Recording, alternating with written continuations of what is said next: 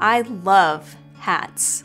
Throughout my life, I've collected fedoras, ball caps, visors, and even cowboy hats. What about you? Do you have a favorite product, service, or even cause that you like, you love, you can't live without? Maybe you're loyal to a snug pair of shoes or a quiet coffee shop, or maybe an organization that's working hard to make a positive change in the world. How would you explain that feeling of commitment? The answer is marketing. A marketer makes both creative and analytical decisions. A marketer developed the unique design of your favorite product, discovered data patterns that matched you to your favorite service, or designed the organization's website that moved you to join a cause that matters. Do you enjoy storytelling? Do you like to solve puzzles?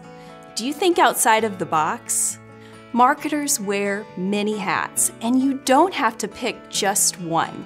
In the marketing program at ACU, you can discover and develop these passions. You learn skills in digital, data, sales, technology, and strategy.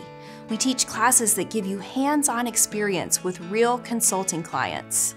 Our marketing alumni come back to campus to co teach classes and network. We take field trips to explore the future job possibilities at companies like Amazon or Starbucks. Join us. Let us help you discover all the hats you can wear as a marketer to honor God and make important changes in the world.